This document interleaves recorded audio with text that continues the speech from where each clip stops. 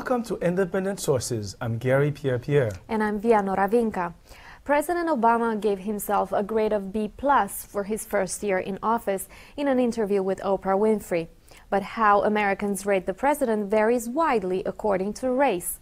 Polls show his approval ratings slipping among whites, but remaining high in communities of color, especially among African Americans. But do polls tell the entire story? On this edition of Independent Sources, we sit down with two veteran black journalists to get an assessment of Barack Obama in the black community. We look at nonprofits as a business model for news. And we profile African newspaper publisher and radio personality Chika Onyeani. We'll bring you these stories and more after this.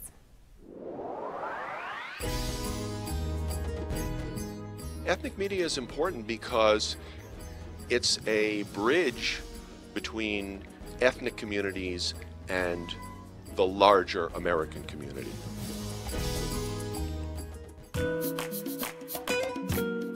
Recent polls report a dramatic split in how Americans view Barack Obama. His approval rating among blacks is almost double that among whites, 90% to 47%. But the president is facing increasing criticism in some quarters of black society also from columnists to Congress to community activists. So, where does he really stand among blacks? To try to get a read on the Obama barometer, I'm joined by journalist and author of the recently published book Simeon's Story, Herb Boyd, and by Smokey Fontaine of the website newsone.com. Welcome. Thank you. Mm-hmm. Thank you. So we see these poll numbers, but are they a reflection of how black Americans really think about President Obama. Smokey, what kind of feedback have you been getting from people online? What are they saying?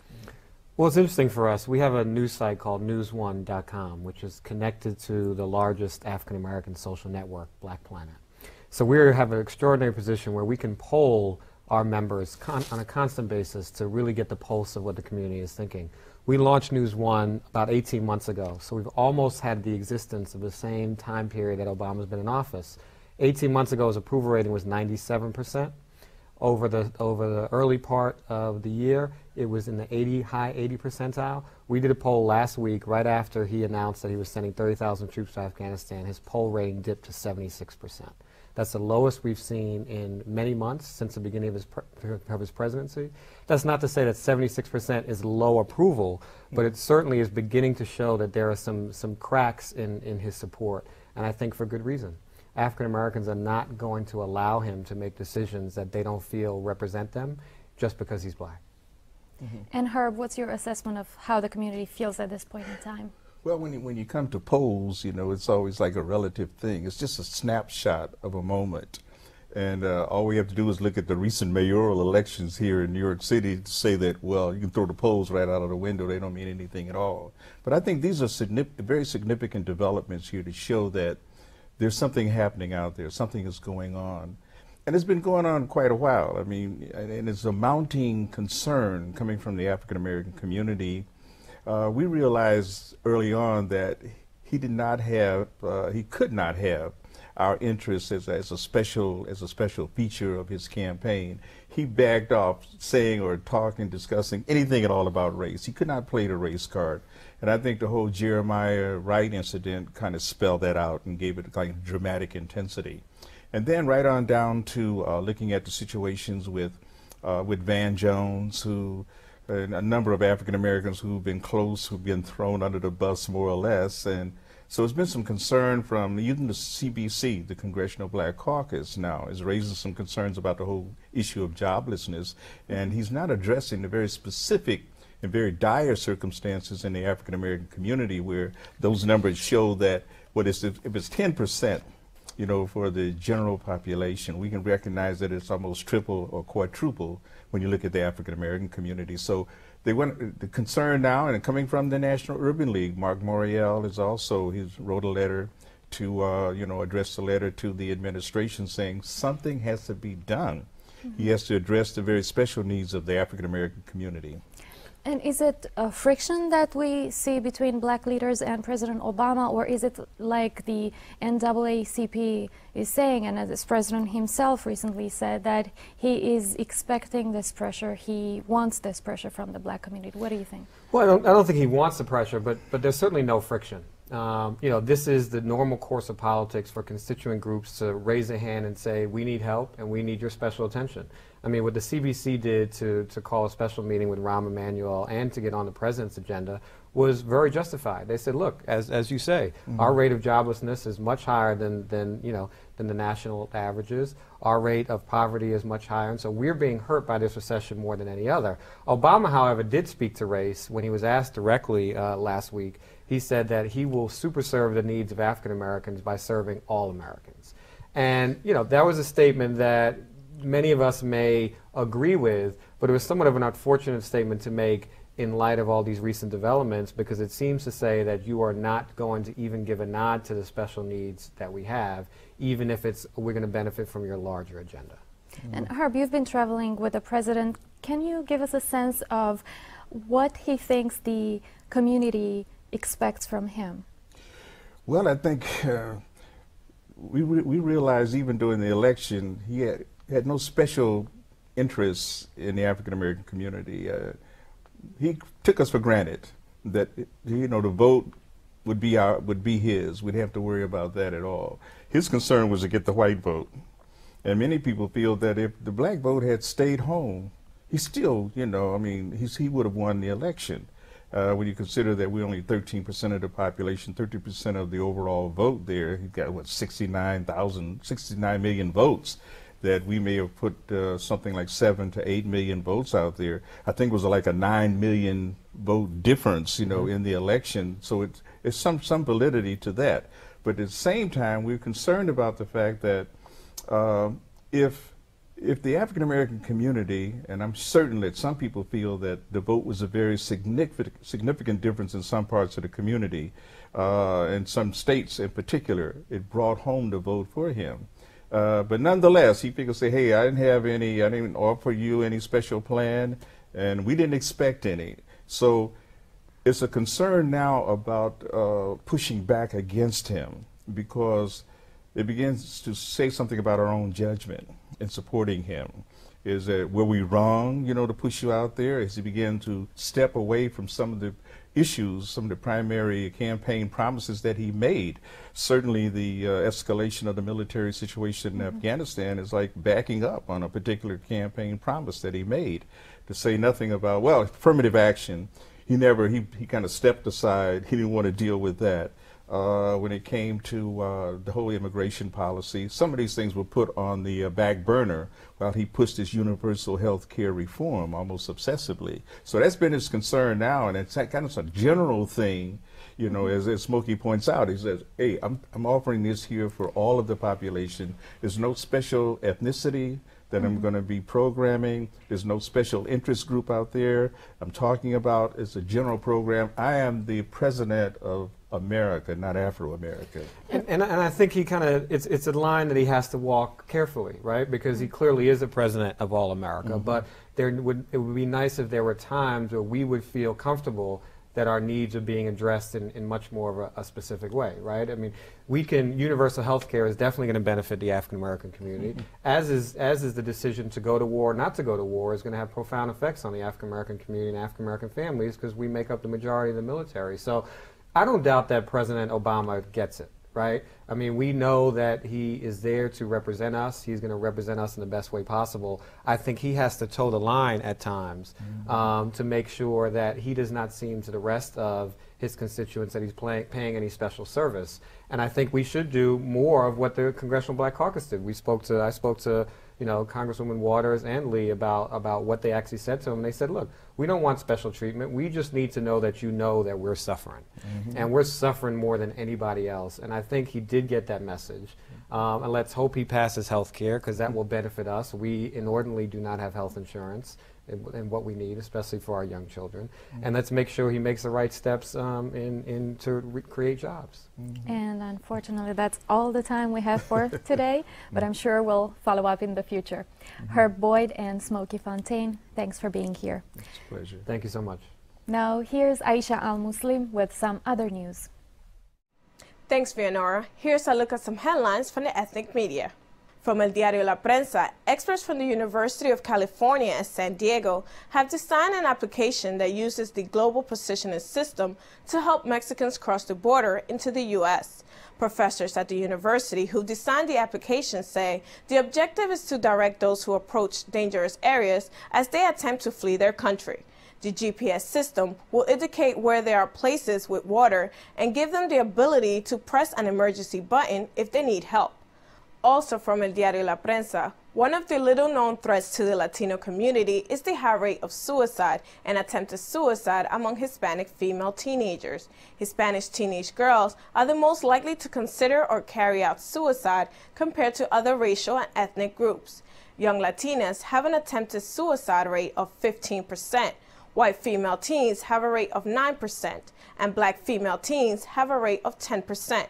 The high rate among Latinas has been linked to immigration and their families' experience adapting to a new country. The Forward reports that Neil Grungras, former executive of the Hebrew Immigrant Aid Society, will help gay and transgender people who have escaped oppression throughout the world.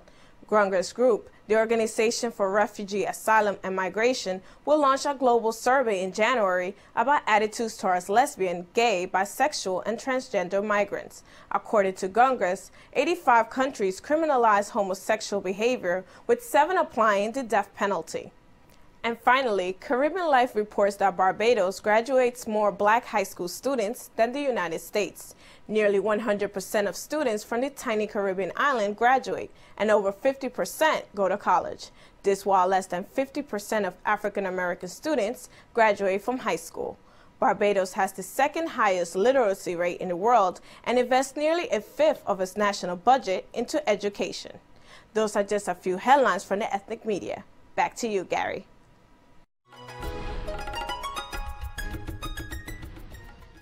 With more and more publications cutting back or shutting down, the news industry is experimenting with new ways to survive. Hyperlocal, as well as collaborative efforts, are part of the new trend in coverage. Ownership by nonprofit organizations is being explored as an alternative business model. With me to discuss nonprofits and the news industry is Walter Fields, publisher of City Limits. Also joining me is independent magazine editor Abby Sher. Thanks for being here. Thank you. Thank you. Before we get into the discussion, let's look at this report by Michelle Garcia on a new news model in the Bronx. When you come to these meetings, you see the same people. They really care. They've been here for 30 years.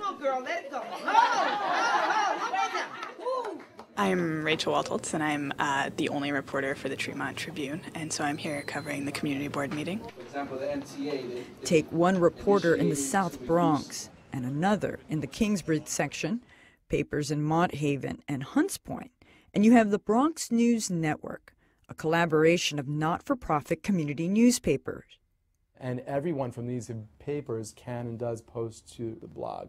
Then we have feeds from other Bronx blogs here on RSS feeds. Occasionally we have a video on the blog as well. A daily news article about cuts to a homeless prevention program only told you part of the story. The Norwood News, with the backing of their nonprofit patron, Moshulu Preservation Corporation, searched for partner papers like the Hunts Point Express and even pollinated a few new ones, including the Tremont Tribune. There are most Bronx neighborhoods have no um, spotlight on its like you know uh, um, civic you know stage.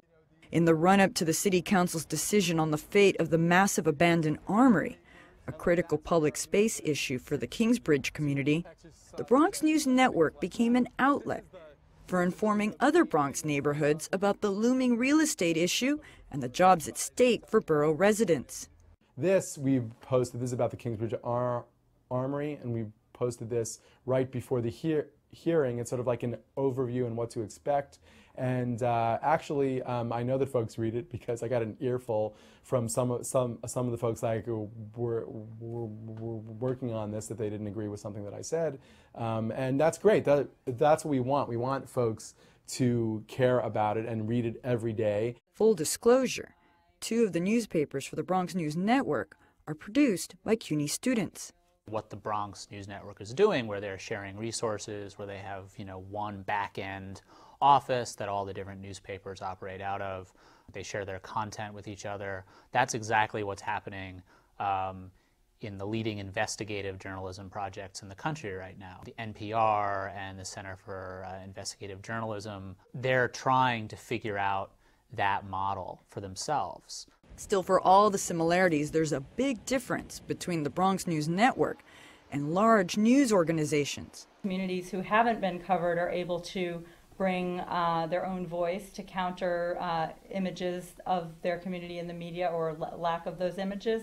I don't think that um, news organizations uh, they haven't learned the lesson about really deeply reflecting on perhaps the populations that they haven't been covering because they haven't had to learn it. But it's a big challenge for networks, big and small, to make their collaborations financially viable. It's not economical to do it unless you have a very large network, meaning that you've aggregated thousands and thousands of sites and you can link them all together and deliver relevant ads. And there's another issue the sometimes uneasy marriage between news outlets and their nonprofit funders. Moss says a critical housing story that appeared in the Mount Hope Monitor provoked criticism from its sponsor, the Mount Hope Housing Company. It's not, not an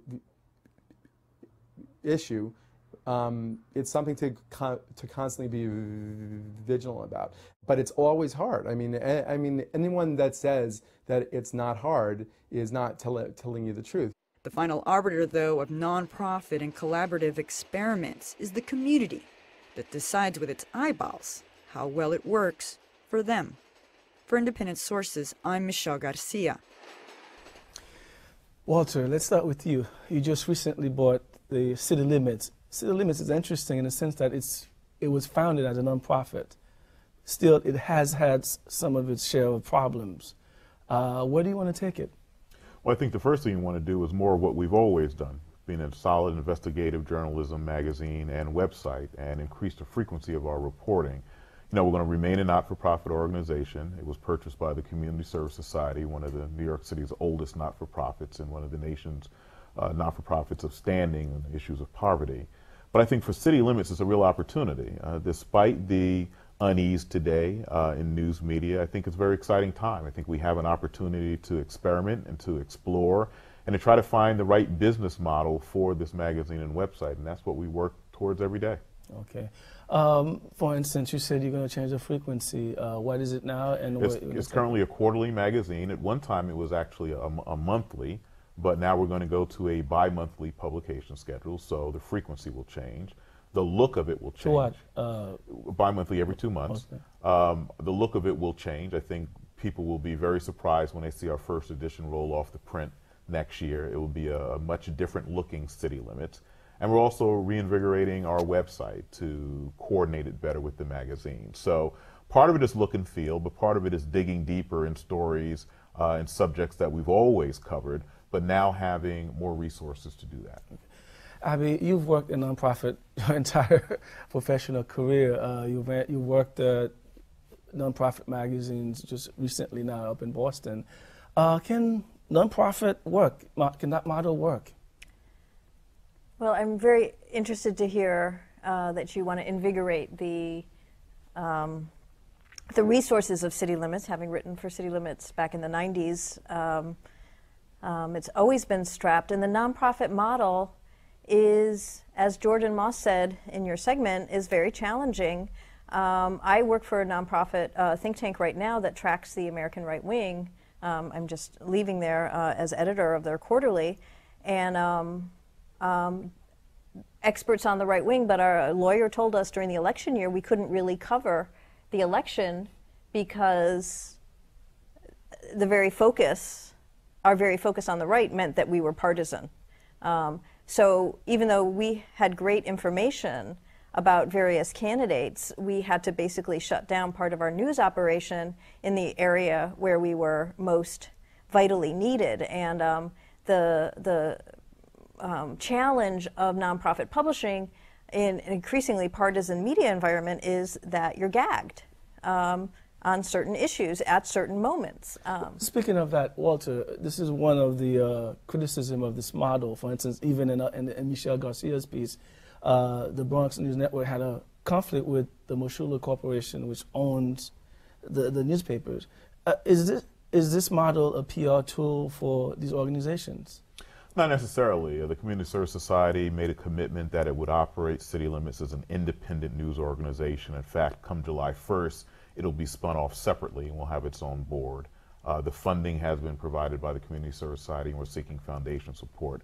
I think the only way this model really works is a combination of earned income, advertising revenue, and they're going to have to be subsidized. I don't think any of these um, entities will, will exist amongst themselves simply by advertising revenue. It's not going to happen. You really have to be subsidized. And that's the model we're working with. I think our intention is to run um, an organization that may at the end of the year uh, break even or have a small fund balance as a not-for-profit.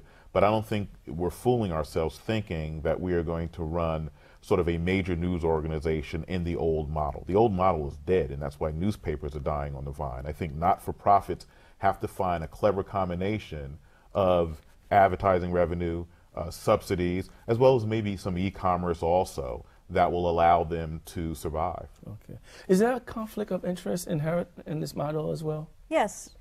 As, as Jordan said, anyone who says there's not, I mean, probably hasn't been vigorous enough in their reporting in a certain in a certain area. And um, um, I, I mean, I also realize that you may not necessarily have a lot of choice. That you might need a organization as powerful as a community service society for city limits to survive, that city limits would require um, uh, an institution with your foundation connections to, to sustain it and infrastructure. Because one of the challenges of nonprofit publishing is um, usually they're just a single publication. You're extremely taxed with your staffing. Um, and uh, another thing that's happening in nonprofit magazine publishing right now is um, the loss of subscription revenue because of the web. So they have their own version of the collapse that's going on in the mainstream media. You're having subscription collapse, where you, a, a, reliable revenue source used to be um, paid subscriptions for your magazine, and you would borrow $100,000 for a direct mail campaign. You'd bring in subscribers, and um, those subscribers would pay pay back over time with donations and subscription revenue. And that is no longer really operating because people uh, who are readers of the nonprofit press are going to the web. Um, so you need even more. None of the no nonprofit uh, magazine probably survives without some foundation support. Although I worked for one, um, Dollars and Cents, that continues to exist because it um, publishes economics readers that are used in college classrooms. Um, so public mm-hmm. policy readers mm-hmm. coming out of city limits that can be used in public policy schools. Mm-hmm. Um, Walter, I'd like to pick up on a point that Abby uh, mentioned earlier about the challenge of having one title publication and how, how, how difficult that is. With city limits, you know, how do you going to generate money? Do you have a plan to generate money through a subscription? We currently do, and we currently get advertising. We currently get classified advertising. The question is, how far can you go in building the enterprise with what you current, your current revenue stream? I think what's what's important to remember here is that we're no longer looking at City Limits as a magazine and a website. City Limits is a content platform. So the old model of this wall between the two, you have to abolish. I think that's what we're seeing in, you know, the, the for-profit media, that we're beginning to more think about a content platform where you can provide content, sell it perhaps online. That's a new model that people are still looking at whether or not people will ever pay for online uh, content. Wall Street Journal does, but they have a very defined audience uh, most of which is subsidized by their companies for subscriptions to the Wall Street Journal. But I think what we're in is a period of extreme experimentation to find out which model actually works. And those conflicts are inherent across platforms. So even in so-called mainstream media, you know, if you look at GE owning NBC, those conflicts are always there. There's no such thing as pure journalism. Uh, what we have in the not-for-profit side, though, is the bigger challenge in that you're not revenue driven and the fact that you don't have the same ability as a New York Times or a Daily News to drive revenue, But I do think that there is a place for not for profit media.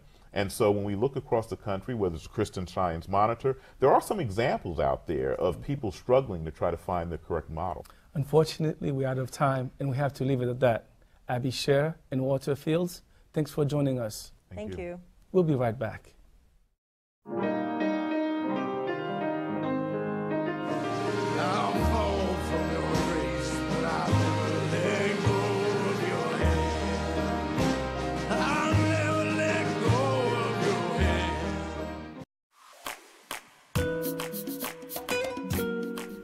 Chika Onyeani has had a long and varied career in journalism. He's a newspaper publisher, radio personality, and author.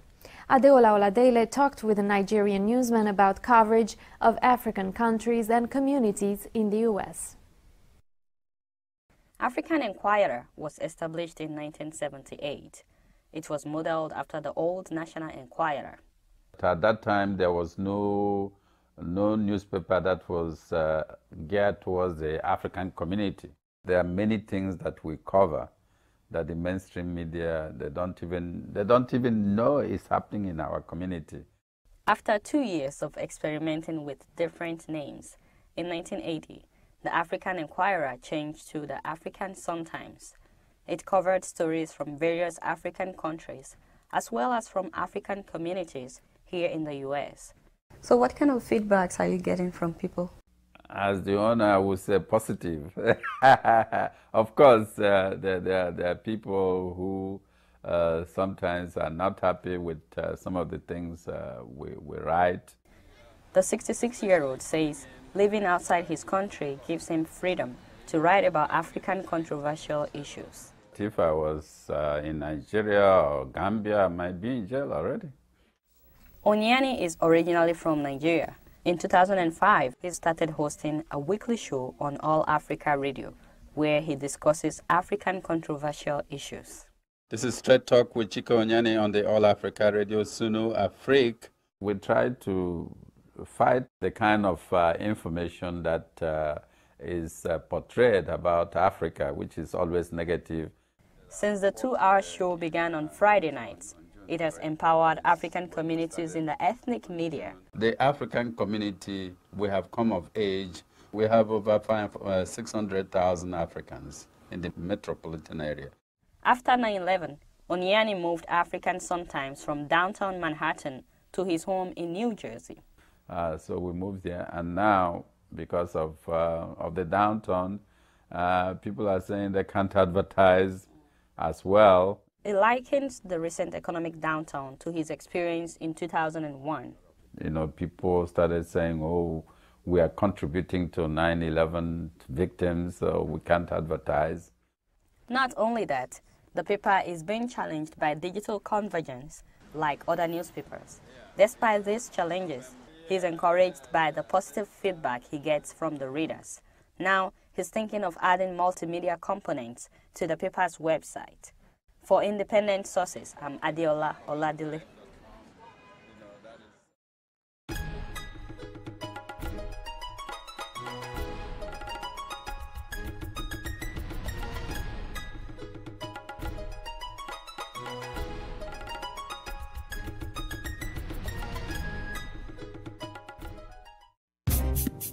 That's our show. Thanks for watching, and we'll see you next week. In the meantime, be independent minded.